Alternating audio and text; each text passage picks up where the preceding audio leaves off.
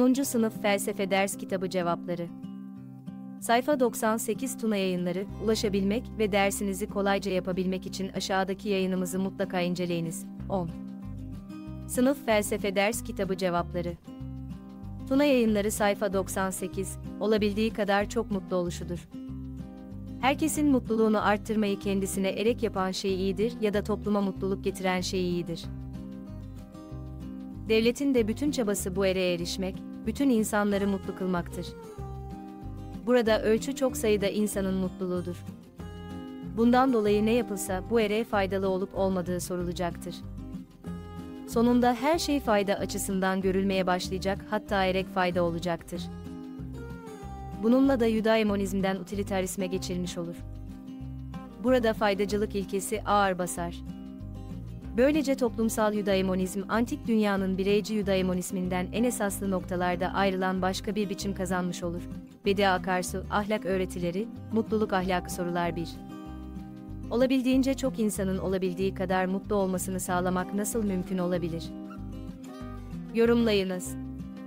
Cevap, olabildiğince çok insanın olabildiği kadar mutlu olmasını sağlamak, insanların ihtiyaçlarını karşılamayı ve onların haklarına saygı göstermeyi içeren politikalar ve düzenlemeler uygulanarak mümkün olabilir. Bu, insanların fiziksel, duygusal ve zihinsel ihtiyaçlarını karşılayacak ortamların yaratılmasını ve insanlar arasındaki düşmanlık, nefret ve adaletsizlik gibi olumsuz koşulların ortadan kaldırılmasıyla da sağlanabilir. İkinci bireysel mutluluk mu yoksa toplumsal mutluluk mu daha önemlidir? Yorumlayınız. Cevap, Yudaemonizm anlayışına göre, toplumsal mutluluk daha önemlidir çünkü bu anlayışa göre, mutluluğun hedefi olabildiğince çok sayıda insanın mutluluğudur. Bu nedenle, bireysel mutluluk yalnızca bir kişinin değil, tüm toplumun mutluluğunun da arttırılmasına yönelik eylemler yapılması gerekir. Üçüncü başkalarının iyiliğini düşünerek davranmak insanı nasıl mutlu eder? Yorumlayınız. Cevap, başkalarının iyiliğini düşünerek davranmak, insanı mutlu eder çünkü bu tür davranışlar, insanlar arasındaki ilişkileri olumlu yönde etkileyebilir ve insanların birbirlerine yardım etmek ve destek olma eğilimlerini artırabilir. Ayrıca başkalarına yardım etmek ve onların iyiliğini düşünmek, insanın kendi kendine saygı duyma ve kendine güven duyma düzeyini de artırabilir. Bu, insanın kendi mutluluğunu da arttırabilir. Uygulayalım Mehmet ve Ayşe, sınav puanlarına göre okumakta oldukları liseyi tercih etmişler ve kayıtlarını yaptırmışlardır. Kayıt sırasında okul idaresi. Okulda serbest kıyafet uygulamasının olmadığını. Okulun formasının giyilmesi gerektiğini. Okul aile birliği ile ortaklaşa alınan bir kararın olduğunu. Bu uygulamanın da ortaöğretim kurumları yönetmeliğine dayanarak alındığını belirtmiştir. Okul başladıktan sonra Ayşe formasıyla okula gelirken, Mehmet okula serbest kıyafetle gelmeye başlamıştır.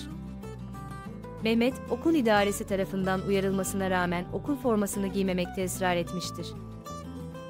Hakkında disiplin soruşturması açılan Mehmet savunmasında, başka bir lisede arkadaşlarının serbest kıyafetle okula gittiğini, kendisinin özgürlüğünün kısıtlandığını söylemiştir.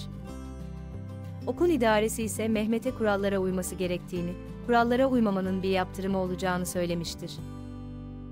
Sorular 1. Mehmet'in davranışını özgürlük ve sorumluluk açısından değerlendiriniz.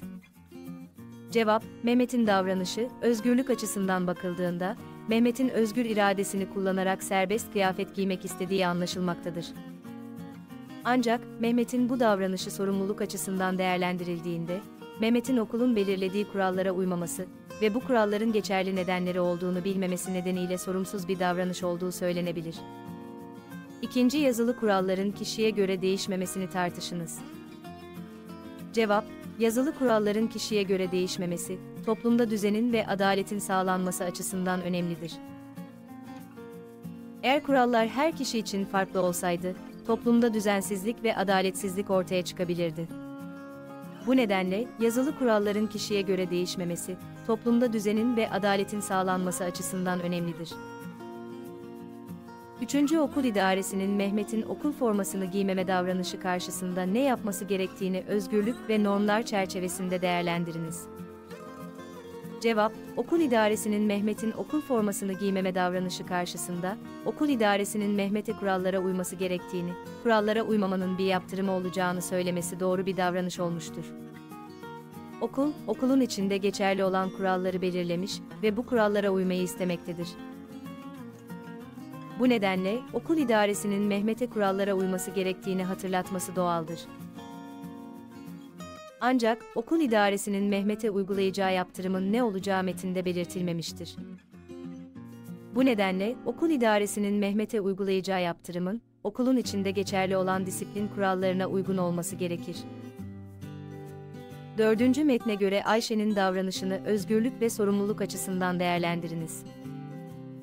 Cevap, metne göre, Ayşe okulun belirlediği kurallara uygun olarak okul formasını giymiştir. Bu nedenle, Ayşe'nin davranışı, özgürlük açısından bakıldığında Ayşe'nin özgür iradesini kullanarak okul formasını giymiş olması nedeniyle doğru bir davranış olmuştur. Ayşe'nin sorumluluk açısından değerlendirildiğinde ise, Ayşe'nin okulun belirlediği kurallara uyarak okula gelmiş olması nedeniyle sorumlu bir davranış sergilediği söylenebilir. 10. Sınıf Tuna Matbaacılık Yayınları Felsefe Ders Kitabı Cevapları Sayfa 98 ile ilgili aşağıda bulunan emojileri kullanarak duygularınızı belirtebilir aynı zamanda sosyal medyada paylaşarak bizlere katkıda bulunabilirsiniz.